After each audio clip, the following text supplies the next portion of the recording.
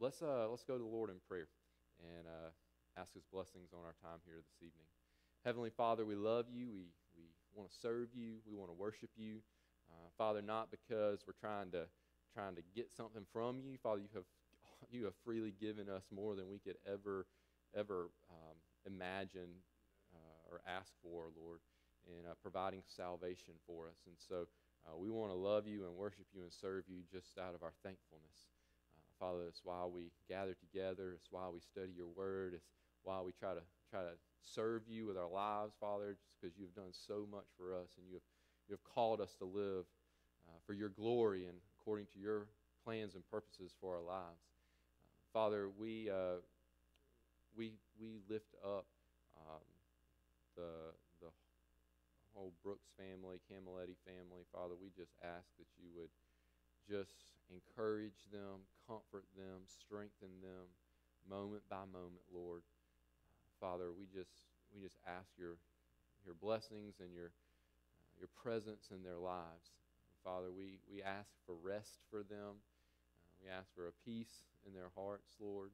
Uh, we just we ask for you to do for them what only you can do for them. Father, we want to come alongside them and encourage them and comfort them as best we can.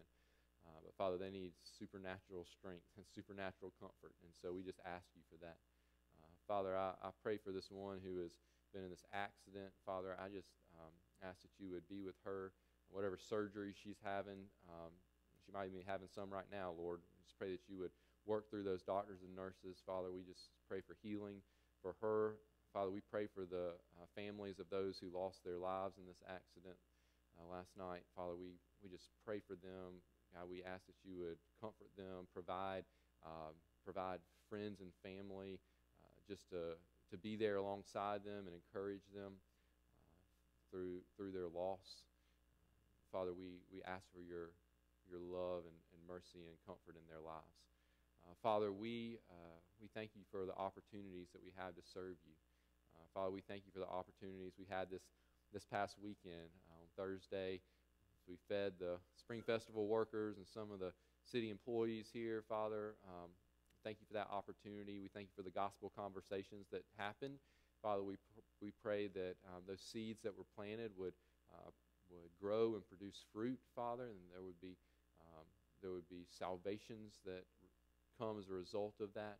Father, we thank you for the uh, many people that we were able to, to interact with and meet on Saturday. And uh, Father, for those that we met that are looking for a, looking for a church home, Father, we pray that, uh, that you would um, just impress it upon their hearts the need for uh, church family, Father, and if they choose to come and, and visit here, Father, I pray that we would love them and welcome them and, and, uh, and, and preach the gospel to them. Uh, Father, we, uh, we pray for those that we may have interacted with that don't know you as their Lord and Savior. And Father, maybe there's something that we said or something that we gave them that uh, would, would get them thinking about their, their sin and their need for a Savior. And uh, Father, that you would uh, work salvation in their hearts and lives. Father, um, we, uh, we pray for uh, Jonathan and Chelsea. Father, I just lift them up, uh, their family. Father, they've got a lot of stuff going on this summer as they get ready to launch this new church there in Mission Hill.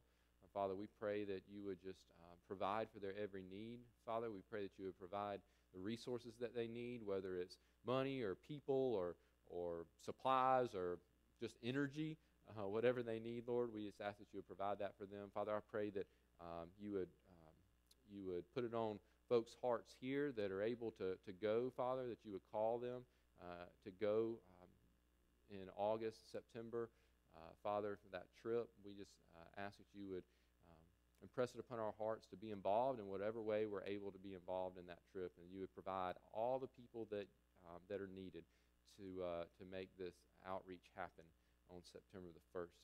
Uh, Father, we, we do these things uh, not because we, we are just looking for something to do, not because uh, we don't know what else to do. Father, we do these things because you, you've commanded us to go and make disciples of all nations. Father, um, there's a lot of things we could do, but Father, if we're not doing that, Lord, we're failing you. We are, we are, we've missed, we've missed um, completely miss the calling that you have placed on every single one of our lives. And that is to be ministers of the gospel of Jesus Christ toward those those we know, Father, whether it's in a one-on-one conversation or whether we're um, have opportunities to speak to larger numbers of people, whatever it is, Father, you've called us to, to speak the gospel to folks. And I just pray that we would, uh, we would be obedient to that. Fathers, we uh, have gathered here tonight. We just want you to be honored and glorified. Father, we ask that you would um, help us to learn to love you more through our study of your word, uh, that we would grow in our understanding of, of you and of uh, your plan of salvation, and that that would cause us to um, become more like Jesus, that it would cause us to, to want to share this gospel message with other people, that we would grow in our ability to clearly explain the truths found in your word, to clearly explain who Jesus is and, and what this plan of salvation is. Uh, Father, we just want you to use this time for your honor and for your glory. It's in the name of Jesus Christ we pray. Amen. All righty. Uh, if you got your Bibles, I'll tell you where to turn in just a minute, okay? Uh, I'm just going to listen for, for a couple of minutes and we'll talk, and then I'll tell you where to turn. Uh, we are continuing our study called The Big Picture of the Bible. And, uh, and so we, we are, we are we, tonight, we, we get to the promised one. I've been excited to get here. Uh, it's been a journey as we've got in our in our plane and we've traveled and uh, and we have landed in some places in God's Word and we've got out that out of that plane and we have uh, met some of the people and we have uh, seen some of the culture and and uh, seen what the Lord was doing there in that time and then we got back in that plane and we've taken off and um, kind of breezed over some other places in God's Word and then landed again and we we see that these places where we've landed are connected together they're connected. And, uh, and, and, and all of this is telling one big story. Um, it's a story of redemption. And so uh, I, I, hope and pray that as we've walked through several places in the Old Testament, uh, our, our, desire is that we would get excited about this promised one and his coming. Um, just, just think about if you knew nothing about Jesus, didn't know who he was, and you're reading about creation and how it was good, and then there was a curse, but then God promised to fix the curse. And then, and then you go a little bit further and, and you read about a flood, and it's tragic, but then you see that God rescued someone. And then you go a little further and you learn about the birth of this nation and you get these clues about who this promised one's going to be and, and where he's going to come from and what he's going to do and, and you start putting these things together and the excitement starts to build. Who is who is this promise when is he going to get here? And, and, there should be a, a, a, level of anticipation and excitement that, uh, that grows inside of us. Sometimes sometimes if we have grown up in church or at least been in church for a while um, study God's Word for a while, a danger is that we lose some of the sense of excitement about the coming of the promised one. We don't want to lose that. Uh, we want to we want to be more excited uh, the last day of our life here on the earth of us being saved and walking with the Lord than we were the moment that we trusted in Christ.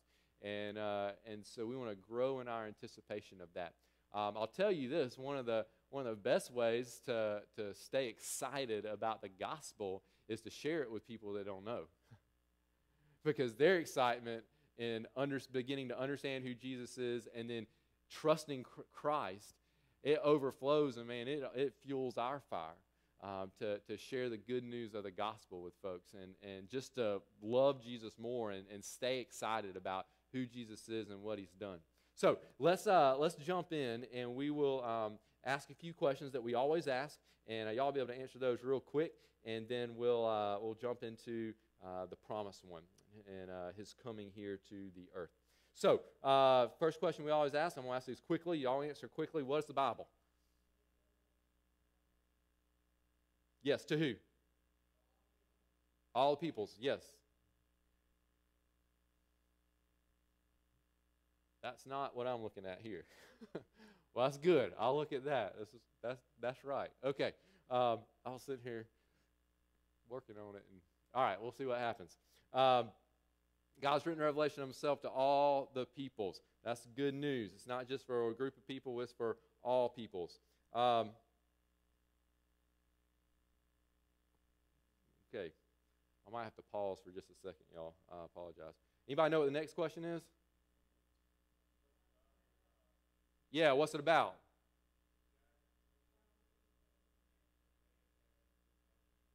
Yes, God's plan for the redemption of mankind through the promised one. Excellent.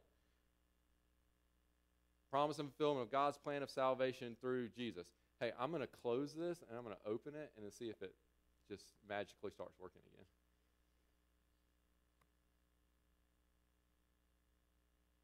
not. I'm going to do something real quick.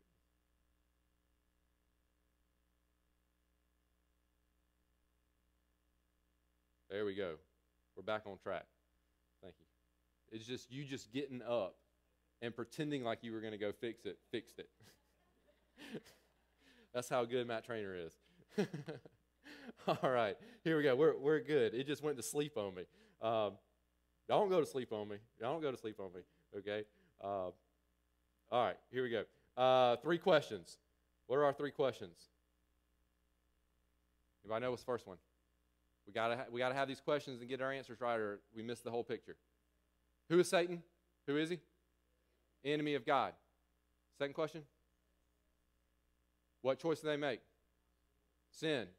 And third question. What did God promise? What did He promise? Yes. Say a what? Say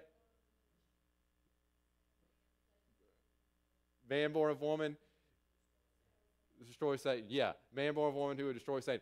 I, see, here's the problem. I have to. I don't hear very good, and so, right. and so the bar was going right across your mouth, and so I have to like read your lips as you're talking. I couldn't see your lips, so I couldn't hear you. That was the that was the problem. Um, I could I could hear noise, but I needed to see your lips. Uh, okay, so uh,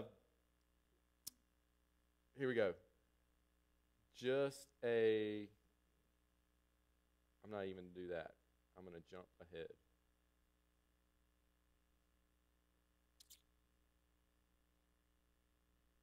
I want to review where we were our last time together because this bridges the gap between the Old Testament and the New Testament. Um, there's a new covenant prophecy, and so I just want to list the um, for us to list the four or five benefits of the new covenant. Um, in the Old Testament, God promised a new covenant with his people, and this is what that covenant would involve. Because this gets us excited about the promised one, because these are things that we want, we need. Uh, first one is that God would change the hearts of people to love and obey him. We desperately need our hearts changed, um, and we need it from the inside out. Uh, that's the Holy Spirit. We talked about that this morning. We need the Holy Spirit to change us from the inside out. God said he would restore the relationship between himself and people. We need our relationship between us and God restored. Um, he said that that relationship would be a personal relationship, not some abstract relationship, not something where I had to go through somebody else, a priest or something, but I would have personally a personal relationship with God. And then the way that all that's possible for him to change our hearts, store a relationship, give us a personal relationship with him, is that he would have to do something about our sin. And what he's going to do with it is forgive it. All right? He's going to forgive our sin. And uh, simply means to not hold our, not, he's not going to hold our sin against us. And that's what forgiveness means. And so that's what we're looking for is this new covenant to take place, but it's only going to happen through a promised one. It's the only way it's going to happen. So we get to the promised one when we get to the New Testament. And so that's where we're going to be today. And that New Testament, oh, it's going crazy. I was going to ask you a hard question. I was going to say, who is the promised one? Well, the promised one is who? Jesus. Okay. Man, I knew, I, I was just going to ask a question. I knew everybody could get that one right, and I gave you the answer before I let you do it. Um, sorry. This technology's not working good today. So let's jump in. Jesus Christ. Um, we're in the New Testament. Uh, just a quick overview of the New Testament, um, at least how it starts. The New Testament describes how God fulfills the new covenant. Um, we start in the New Testament with the first four books. What do we call those? The Gospels. Yeah, Matthew, Mark, Luke, and John. They're biographies of the promised one, or Jesus. These books were written from different perspectives, but they all agree with one another. It's pretty neat. Uh, different perspectives, but they all agree. These four biographies of Jesus, as we said, are called the Gospels. Uh, what does the word gospel mean? Good news. Good news. Uh, that's all. That's all that word means. Is good news. Um, what's what's this good news? Thinking about the big picture, the promised one. What's this good news?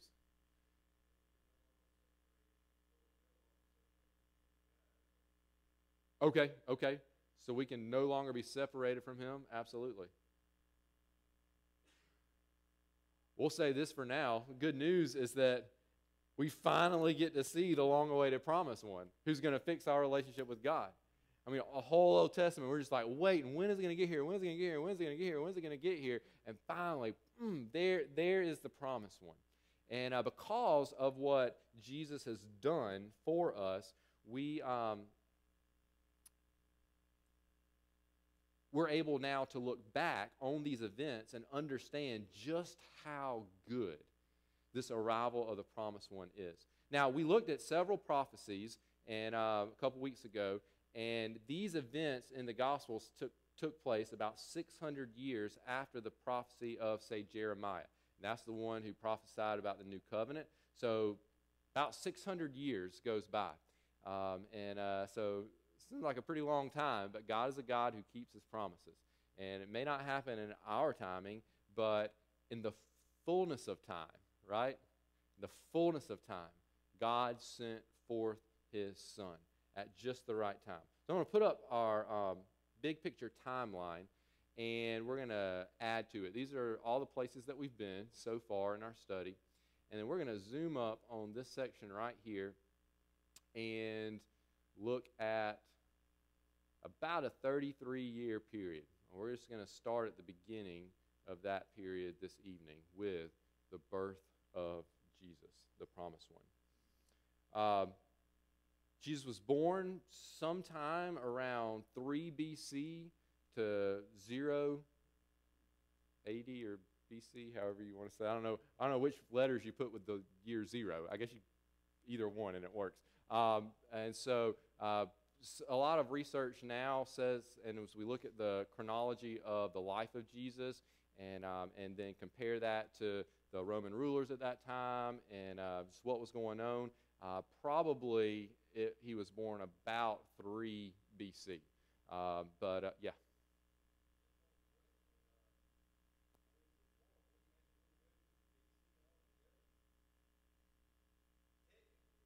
No, that would actually create the BC because there was no before Christ until there is a Christ.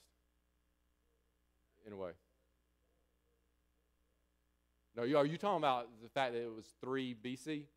Yeah, yeah. So probably whenever the, the calendar was made, um, there wasn't as much uh, just scholarship and archaeological evidence and all that stuff to be able to pinpoint the exact time, and so they got close to it.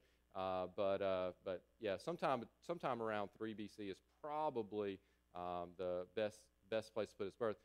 The the bottom line though is that the coming of Christ split history in two, split it into two. Our calendar is is organized around the birth of a little boy to some peasant parents in a no-name town called Bethlehem and it completely split the human calendar into two. And so for someone to ever say that, ah, Jesus is just, you know, another prophet or something, there's, yeah, there's something, something bigger about this person, about this birth. So let's look at it for just a, just, just a few minutes. Luke, that's where you can go if you want to turn in your Bibles. Luke chapter 1. Um, some of this will be familiar to you, some of it may not, uh, but we want to look at it and see uh, see about this coming promised one. Um,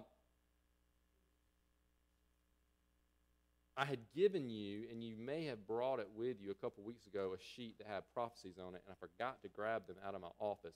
Um, but we're only going to do five of them tonight, and so if you don't have it with you, um, you'll only miss five of them, and that'll be okay. But as we go, if you have that sheet, you'll see prophecy number one, prophecy number two, prophecy number three pop up, and that corresponds to that sheet. I'll hand it. If you don't have one, I'll give you one on your way out the door tonight, and um, and you'll have it for next week, and I'll make sure I have them in here. Uh, well, not next week. Next time we're together in here on Sunday night. Uh, but verse 26, Luke chapter 1. Verse 26, Luke chapter 1. All of history, all of history is leading up to this right here. In the sixth month, the angel Gabriel was sent from God to a city of Galilee named Nazareth to a virgin betrothed to a man whose name was Joseph of the house of David. And the virgin's name was Mary. And he came to her and said, Greetings, O favored one, the Lord is with you. We talked about this this morning. God is the author of salvation, it's His doing from beginning to end. And so, Mary's not sitting around going, Hey, God, when are you going to send that angel down? You know, God initiates it all. And so, He, knowing that this is the fullness of time, this is the right time for the Messiah to come in human history, He sends His messenger, Gabriel, to this. Um, to this woman whose name is Mary. And uh, so starts the coming of the promised one. Uh, Mary is soon to be married to a man named Joseph. That's what um, betrothal means. They weren't married yet. Um, betrothal in those days and times were it was it was more than an engagement. What we would consider today an engagement. Um, it was it was even more of a commitment uh, than than our modern day engagement. But you weren't married yet and uh, but but they are they are going to get married. There's always already a pretty pretty large commitment on David's part to this woman named Mary, and we'll talk about that again in just just a minute. But something unique about this woman is that she is a virgin, and so the angel comes to her and says, "The Lord is with you." Verse 29. But she was greatly troubled at the saying and tried to discern what sort of greeting this might be. And the angel said to her, Do not be afraid, Mary for you have found favor with God. And behold, you will conceive in your womb and bear a son, and you shall call his name Jesus. There's no asking, there's just telling. Hey, Mary, you will conceive in your womb, and you will bear a son, and you will call him Jesus. This is God's doing. He has a plan, and it involves this young lady named Mary. So Mary's going to come, become pregnant with a son, and she's going to call his name Jesus. Anybody know what the name Jesus means?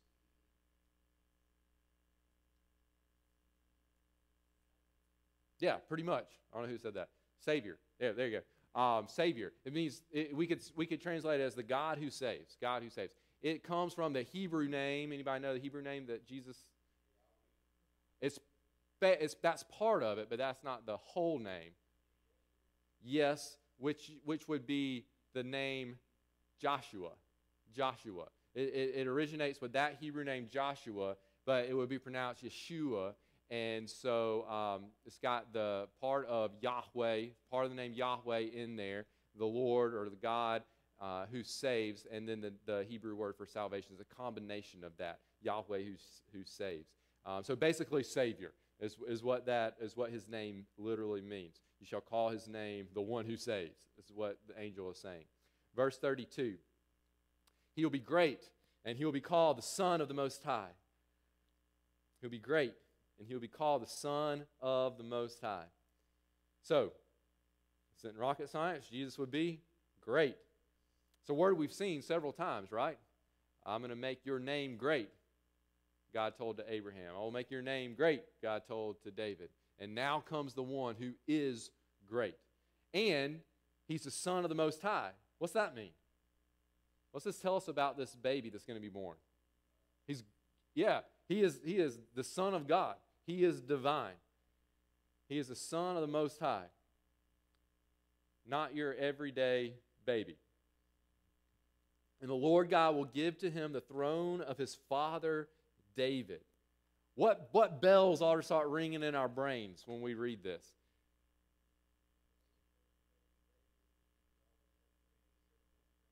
Yes, that David would always have someone on the throne, that there would be an offspring of David who would be a forever king on a forever throne.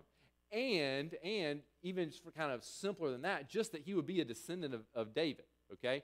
But, but that he will reign as king. He will give to him the throne of his father David. So he's going to be a descendant of David, who was a king of Israel, and he's going to reign. He will reign over the house of Jacob forever, and of his kingdom there will be no end. There we go. We got that whole that whole um, Sunday that we studied uh, uh, David, and we looked in uh, 2 Samuel 7, I believe it is, and we saw where God promised a forever king on a forever throne, and it couldn't be Solomon, and it couldn't be Solomon's son. It, who's it going to be? It's going to be somebody that could live forever. Well, that's going to have to be God.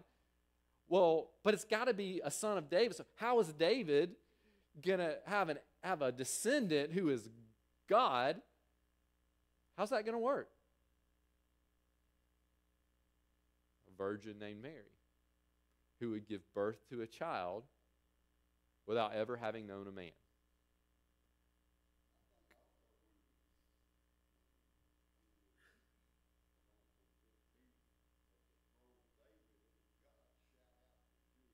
Mm-hmm. Oh yeah, absolutely, absolutely.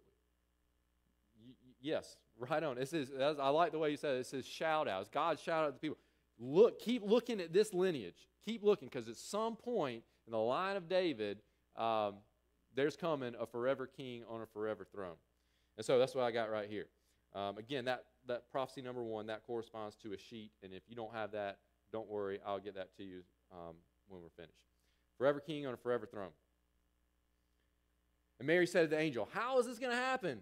That's my translation. Um, how will this be? Since I am a virgin. And the angel answered her, The Holy Spirit will come upon you, and the power of the Most High will overshadow you. God's going to do it. Child to be born will be called Holy, the Son of God. What kind of, what kind of sacrifice was required of the people of Israel when they were enslaved to the Egyptians? A blood sacrifice. So, what kind of blood sacrifice was required to allow them to escape death, the death of the firstborn? Perfect lamb. They had to find a blood sacrifice, unblemished. They had to find a blood sacrifice, but it had to be the perfect one. Couldn't be the one that was crippled. Couldn't be the one that had a disease. It had to be a perfect lamb. Why? Because the sacrifice had to be holy, right? God, God required a perfect sacrifice. It's the only sacrifice that would suffice. So now we have someone going to be born who is going to be a forever king on a forever throne, descended from David, who is the Son of God and will be called holy, which means he is perfect. He is perfect. See what this is shaping up to be? Shaping up to be the promised one we're looking for. That's what it's shaping up to be holy, perfect, spotless, innocent. In other words, he would never sin. He would never sin. All right, let's go to Matthew. Go back, Matthew.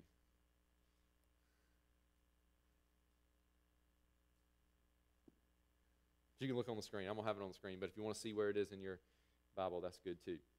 Matthew chapter 1. Matthew starts with what? A good old genealogy. Yeah. Those things that sometimes when you're reading your Bible, you're like, and I think I'll skip ahead a little bit because a lot of hard names to pronounce and it just kind of gets repetitious. But genealogies are in the Bible for a reason, and, um, and this is there for a reason. The book of, gene- of genealogy of Jesus Christ, the son of David, the son of Abraham. Why would Matthew start out his gospel by saying, the book of the genealogy of Jesus Christ, the son of David, the son of Abraham? Why would he say that?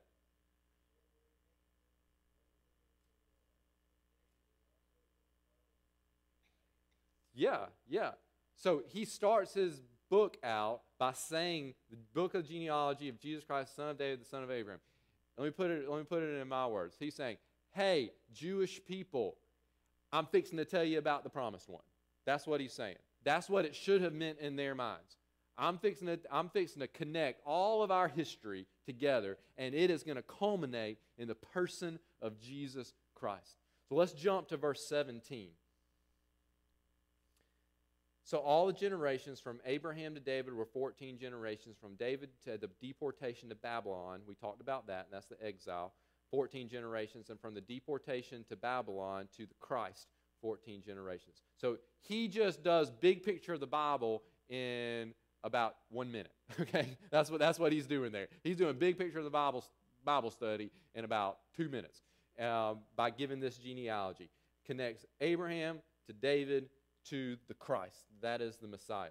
Genealogy is given that traces the lineage from Abraham to David to the Israelites exiled to Babylon to the Christ. What does the word Christ mean? Anybody know?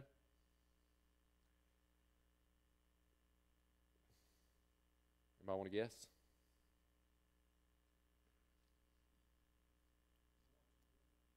Do what? Anointed one. There you go. Several different ways that we could say it. A lot, uh, pretty. Uh, that that anointed one is probably the best translation of Christ. Christ is a Greek word that is the Greek translation of a Hebrew word, which is the word we call Messiah. So, where Christ and Messiah is the same word, just in two different languages. Messiah is English, English, Englishized version of um, of the Hebrew word, and Christ is the English translation of the Greek word, and they both mean the anointed one, or we could say the promised one. We could say that's referring to the promised one. It's the one that's a long awaited one. It's another way you could translate it. A long awaited one, anointed one, long awaited one, promised one. Um, so he will be, he was the Christ. We're tracing this right to this promised one, the one that they have waited on for so long. Verse 18. The birth, now, the birth of Jesus Christ took place in this way. When his mother Mary had been betrothed to Joseph, before they came together, she was found to be with child from the Holy Spirit. Her husband Joseph, being a just man and unwilling to put her to shame, resolved to divorce her quietly. So, Luke's gospel in the birth of Jesus is going to focus on who? Mary or Joseph? Mary. Matthew's going to focus on Joseph. Two different perspectives telling the same story. Pretty neat, right? So here we got the focus on Joseph. Verse 20. But as he considered these things, behold, an angel of the Lord appeared to him in a dream, saying, Joseph, son of David. There we go, like key, key marker. Joseph, remember, you're son of David. That's who the promised one is going to come through. Do not fear to take Mary as your wife, for that which is conceived in her is from the Holy Spirit. She will bear a son, and you shall call his name Jesus. Remember, that means the one who saves. Eh, but he gives the explanation for he will save his people from their sins. This is one of my favorite verses in the Bible. Have lots of favorite verses, but this is one of my favorite verses uh, because we get the mission of Jesus, why he came. It's a very simple, short phrase. Call him Jesus. Call him the Savior because he will save his people from their sins. Very particular reason why Jesus came. Yes, he did miracles. We'll talk about those at a later date. Yes, he said a lot of good things. We'll talk about some of those things that he said at another time. But he came for one particular purpose to save his people from their sin. And here's one of my favorite words in this verse it's the word will. For he will save his people from their sins. I love that. I love that. There's no if, there's no might, there's no hopefully he will. There's no I'm going to send him, we'll see how it works out. There's not even there's not even he's going to save his people from his from their sins if they will do this this and this. Remember that's what the law was about. If you are able to do this and this and this, then then you will have life. But we've already realized we can't do this and this and this and this because of our sin. And so this new covenant is all about Him. Do you remember um, a couple weeks ago? Uh, I put actually, I think it, I'm gonna just stick it up there real quick. See what 34. I gotta get back to the right spot in just a second. Remember this in the new covenant?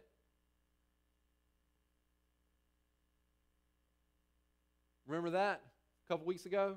I will, I will, I will, I will, I will, I will. This is back in Jeremiah, 600 years before the, the birth of Christ. And God says, I am going to do this. That's what's so good about the new covenant, is that it's all dependent upon God to do it. Not if you are able to obey these commands, then you can have life. But this time, I'm going to give it to you freely. I'm going to give it to you as a free gift. I will, I will, I will, I will.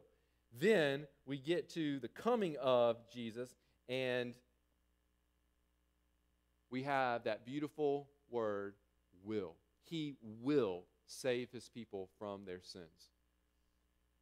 This speaks to all sorts of issues in our lives, all sorts of doctrinal issues. One, I'll just bring this one out, is security of our salvation.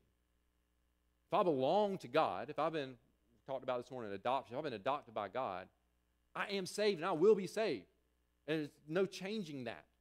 If I've trusted Christ as my Lord and Savior, I'm not, I'm not losing that gift of salvation because Jesus will save his people from their sins. Um, so Jesus is going to be a descendant of David. Tells Joseph the same thing. Tells Mary. Um, he's going to be the son of God. Same thing he told Mary. He's going to be the Savior, the rescuer. Same thing he told Mary. Verse 22. And all this took place to fulfill what the Lord had spoken by the prophet. All this took place to fulfill what the Lord had spoken by the prophet. Behold, the virgin shall conceive and bear a son, and they shall call his name Emmanuel, which means God with us.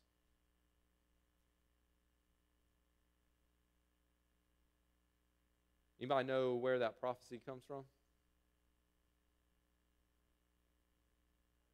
There you go, Isaiah. You had to guess either Isaiah or Jeremiah because those are the ones that we highlighted. Uh, Isaiah. Jesus would be born of a virgin. He would be God with us. Born of a virgin, God with us. Again, fulfilling prophecies.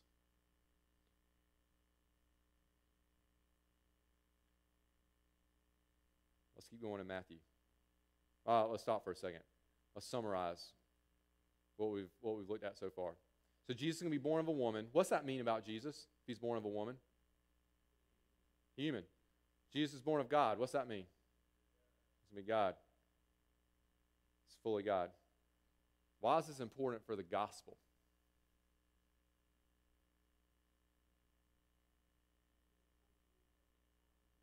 Okay? Yeah.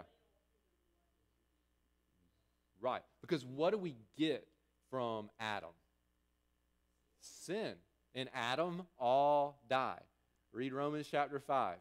Uh, there's death through Adam. So we needed a perfect sacrifice. So it could not have a connection with Adam. But why do we need him to be still be human? Why can't it just be God coming as God and not human? Yeah. Why, is he, why do we need somebody like us? To, to, to, to, to experience things that we so we can identify with us as our high priest. To be our substitute, right? To be our substitute. We needed someone like us to be a substitute for us, but we needed that person to be perfect. And this is why, this is why we have to, we have to always stand firm on our Christology. That's our doctrine of who Jesus is. There are some people who would say, um, yeah, Jesus came and he died on the cross. And, and if you say, well, who is Jesus? Um, and you begin to ask questions, uh, you would realize that they don't believe that Jesus is fully God. They still believe that he came and died on the cross or died in some way for sin. But they don't believe that Jesus is fully God. And so I don't say, well, at least you believe that Jesus died on the cross, so we believe the same thing. No. Because a Jesus that isn't God and dies on a cross accomplishes nothing. So just because you believe that Jesus died on the cross, if you don't believe that Jesus is fully God, then you have no gospel. You have no good news. And the opposite is true as well. You believe that God came to earth, but he was really God. He just kind of looked like a human, but he really wasn't human. Well, now I don't have a substitute.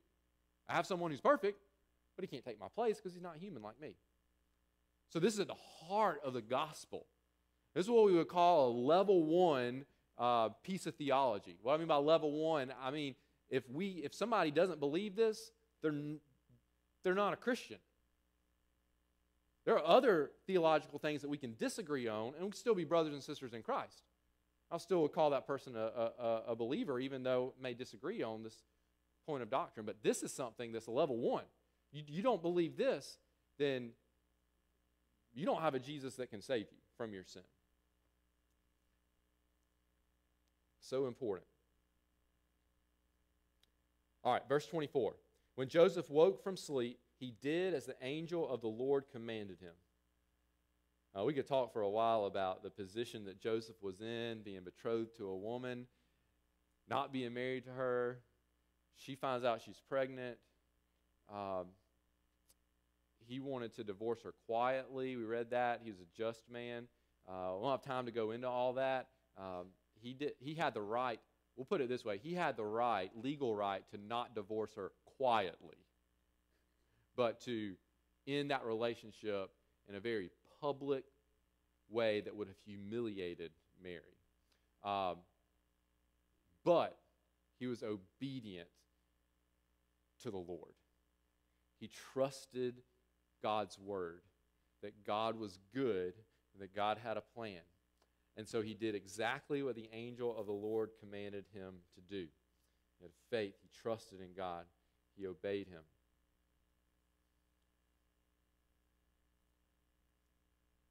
Jump back to the book of Luke. Luke chapter 2. Luke chapter 2, be in verses 1 through 7. In those days, a decree went out from Caesar Augustus that all the world should be registered. You think that was an accident? In the fullness of time, at just the right time, God sent forth His Son. What happened when, when, when you had to, when, when there was a census that took place, when you had to be registered? What did you have to do? You got to go to your hometown. You got to go to your hometown. Caesar ordered a census of the Roman Empire. Where's Joseph from? What's his hometown? What's the, what's the city of his people? Bethlehem. It's the city of David. Verse 4 Joseph also went up from Galilee, from the town of Nazareth, Judea, to the city of David, which is called Bethlehem, because he was of the house and lineage of David. Do you think, do you think Matthew's trying to make a point here? I mean, he's like saying this stuff over and over again. He's, he's, he's saying, most likely, uh, Matthew wrote his gospel primarily, at, the, at least at the beginning, for the Jewish people, because we have lots and lots of references to the Old Testament. He probably wrote this for his people initially so that they would understand who the Messiah was. But of course, it's it's useful for all people. Um, but he is hammering in this this uh, this fact, these facts that this baby that's going to be born, he is connected to David, city of David, which is called Bethlehem because he was the house and lineage of David. Verse 6 And while they were there, the time came for her to give birth, and she gave birth to her firstborn son and wrapped him in swaddling cloths and laid him in a manger because there was no place for them in the inn. Continuing to fulfill prophecies.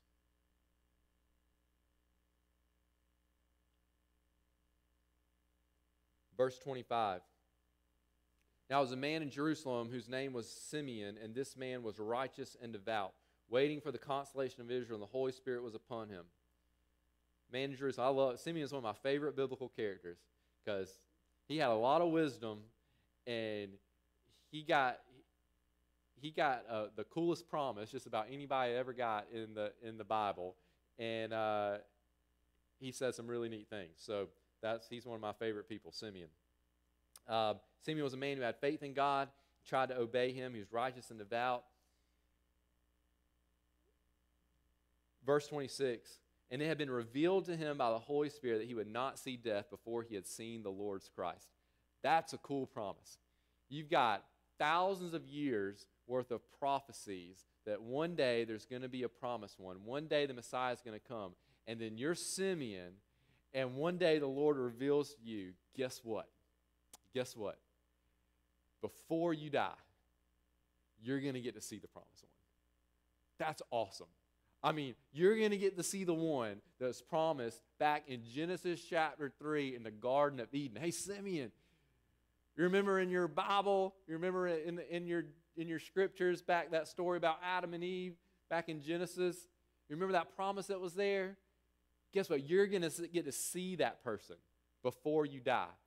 I can't, I, I don't know, I don't know how long, Bible doesn't tell us how uh, long beforehand God revealed that to Simeon, but uh, I hope for his sake it, he didn't have to wait too long after hearing that promise. Because I'd, I'd have got up every day and be like, all right, all right, Lord, day to day. You know, I'm going to see him today. Go to bed and, oh, man, come on, God. You know, it's going to be tomorrow. Um, and, uh, and so, anyways, I, it, he had to wake up every day excited because God had revealed to him that he would see the promised one before he died. And we get to verse 27. And he came in the Spirit into the temple, and when the parents brought in the child Jesus to do for him according to the custom of the law, they come in, Simeon's there, Mary and Joseph bring him in. Of course, the custom of the law is uh, for, was for a male child to be circumcised on the eighth day. So they bring him in for all of that. They meet Simeon. Verse 28 He took him up in his arms. This is a picture of this. Simeon takes this baby, this baby Jesus in his arms, and he blesses God. He, he praises God. And he says this He says, Lord, now you are letting your servant depart in peace according to your word. For my eyes have seen your salvation, that you have prepared the presence of all peoples, a light for revelation to the Gentiles and for glory to your people Israel. Oh, man, what profound words. My eyes have seen your salvation. I don't know who all was standing around. I'm sure Mary and Joseph were standing. I don't know who else was standing around there. It might have been a busy day in the temple and lots of people moving around. But can you imagine hearing this very righteous, devout man? And he, and, and he says, My eyes have seen the salvation of the Lord. And they're probably, Where? Where, Simeon? Where? He, right here. What? That's a little baby. How in the world can that be the salvation of the people of Israel? And not just of Israel, but of the nations. You've prepared in the presence of all peoples a light for revelation to the Gentiles and glory to your people, Israel. The Simeon is saying that Jesus, this little baby, had come for all the peoples. Remember, remember Tower of Babel? Confusion of languages? And now you got scattered across the earth, all these various ethnic groups. They speak these different languages. I mean, how, how, how are these people going to be united into one? They can't even communicate with each other. And here it is. Here's the answer to that problem. Here's God's fix. And it's a little bitty baby. Probably crying. Needed his diaper changed. Little, little helpless, helpless little baby. And this is salvation that's God right there. That's God. He always works in ways that, from a human standpoint, what? That's why the gospel is so different than any man made way of salvation, any man made religion on the face of this earth. The gospel is so different. We would never think this up. We would never come up with this way of salvation. But it's God's way. And he does it in a way that we say, yep, this is God's doing, and therefore he gets all the credit. One more quick story we want to look at. This is familiar to you. Matthew chapter 2. If you want to turn there, you can. I'm going to jump into it real fast. Now, after Jesus was born in Bethlehem of Judea in the days of Herod the king, behold, wise men from the east came to Jerusalem, saying, Where is he who has been born king of the Jews? For we saw his star when it rose and have come to worship him. We've got, we've got wise men. Now, oftentimes we think of just wise men and we think about, yeah, they were wise, okay? They were kingly. But sometimes we read over the fact of where they came from. They came from a foreign land. These aren't Jews that were hanging out somewhere around Jerusalem, but they were really wise. These are people that are not Jewish. And they've come from a faraway land, Gentiles, to worship this Jesus.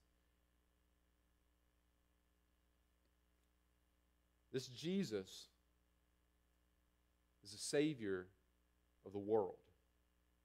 And we see that even from his birth, from what Simeon says, and from these foreigners coming in to Jerusalem to worship this little baby. Now, Herod's not on board with all this, of course. King Herod heard this. He's troubled. Why is he troubled? Why does he not like this?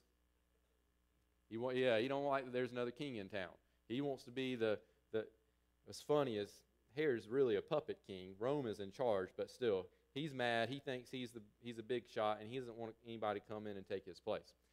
Uh, we're going to skip ahead a little bit. Verse 9 After listening to the king, they went on their way, and behold, the star that they had seen when it rose went before them until it came to rest over the place where the child was. When they saw the star, they rejoiced exceedingly with great joy.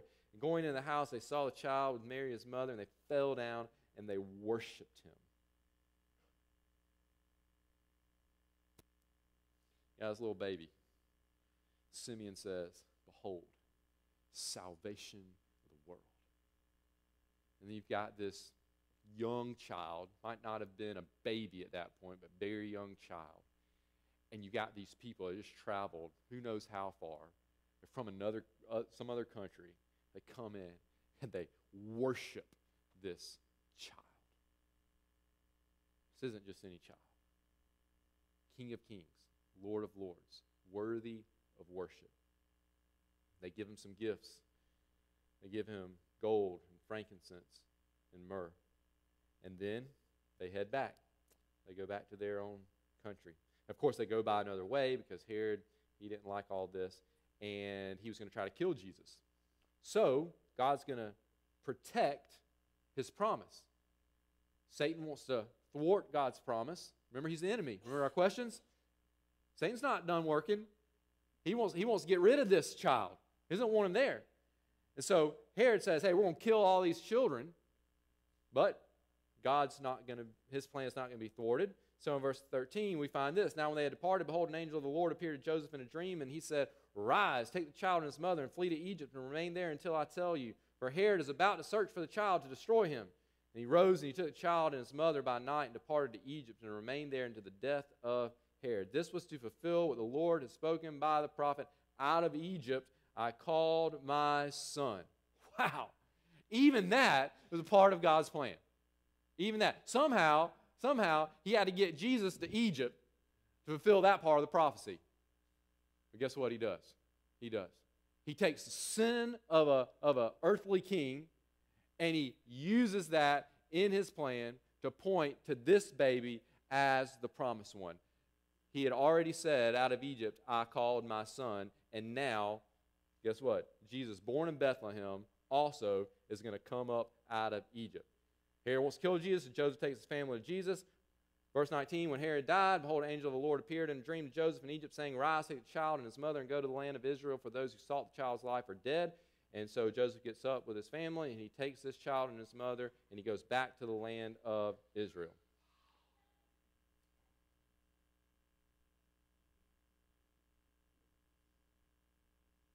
All right. So, wrapping up, what do we learn? That God promised to give a new covenant, which provide all of these blessings, and He's going to do that through His promised one that Jesus is the promised one, that he's born of a virgin in Bethlehem, which is very important because he's fully God and fully human. Jesus had come for all peoples, not just for the Jews. That is good news. That's the good news of the gospel. So, it may have taken a long time, but God kept his promise to send the promised one. And that is none other than the Lord Jesus Christ question then, question then is what's he going to do to fix the problem of sin? What's this baby going to grow up to do so the problem of sin is fixed? Um, just think about all of these details with the coming of Christ and fulfilling prophecy just the right time, getting Joseph to Bethlehem, and then getting Jesus to Egypt, and then Simeon, a Jew, and foreigners from a faraway land, both worshiping this child, pointing to the fact that this is a worldwide event, even though only a few people at this point know about it. God says, I will, I will, I will. It's His plan of salvation, and He will accomplish it. It's the good news of the gospel. Uh, we want to worship God for his sovereign plan of salvation, that he, he, he made it happen, brought together all the details, and we want to share this good news with other people. Promised one is none other than the Lord Jesus Christ. Let's pray. Heavenly Father, thank you for your word. Thank you for being here with us. Thank you for living in us through your Holy Spirit. Father, thank you that in the fullness of time you sent forth your Son, the Lord Jesus Christ. Father, we thank you that uh, you are a God who's able to make all of these prophecies about the promised one and then fulfill them. And uh, Father, so that there's there's no denying that this baby was from you and that he was the one that people have been waiting on for so, so long, that he was the one who would be that promised one. And Father, we worship you. We thank you for that. Help us to live our lives for the praise, the glory of this one who was born as a baby, fully God, fully man, to save his people from their sins. Jesus' name, amen.